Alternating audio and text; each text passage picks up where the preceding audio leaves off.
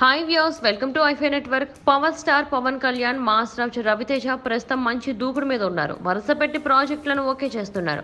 ఇప్పటికే పవన్ కళ్యాణ్ వకీల్ సాబ్ సినిమాతో పవన్ బిజీగా ఉండగా ఆ తర్వాత క్రిష్ జాగర్లమూడి దర్శకత్వంలో విరూపాక్ష హరీష్ శంకర్ దర్శకత్వంలో కూడా పవన్ ఒక సినిమా చేస్తున్నారు.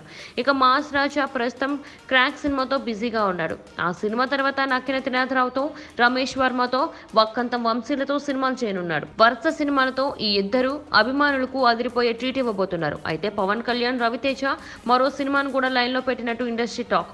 డైరెక్టర్ డాలీ దర్శకత్వంలో ఒక సినిమా చేయడానికి ఒక భారీ మల్టీ స్టారర్ ప్లాన్ చేస్తున్నారట. ప్రస్తుతానికి ఇది ఇండస్ట్రీలో వినిపిస్తున్న ఒక పుకారు మాత్రమే అని కొందరు భావించారు.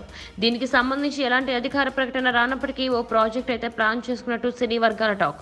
కానీ మొన్నటి వరకు డైరెక్టర్ డాలీ ఒక తమిళ రీమేక్ సబ్జెక్ట్ మీద పనిచేస్తున్నారని తెలిసింది. డాలీ రీమేక్ సినిమాల స్పెషలిస్ట్ అని తెలిసిందే. కొంచెం ఇష్టం కొంచెం కష్టం సినిమాతో దర్శకుడిగా పరిచయమైన డాలీ ఆ తర్వాత తడాఖా గోపాల గోపాల కాటమరాయుడు సినిమాలు రీమేక్ చేశాడు. ఇప్పటికీ పవన్తో రెండుసార్లు పనిచేసిన డాలీ ఈసారి ఇద్దరి హీరోలను కలిసి వారి కోసం మరో కొత్త సబ్జెక్టును సిద్ధం చేశాడట. ఇదివరకే డాలీ బోగన్ విక్రమ్ వేదాలను ప్లాన్ చేశాడట. కానీ ఏవి వర్కౌట్ కావని కొత్త లైన్ రెడీ చేస్తున్నట్టు సమాచారం. ఇక ఈ మల్టీ స్టారర్ మూవీని రామ్ తాళ్ళూరి నిర్మించబోతున్నాడట.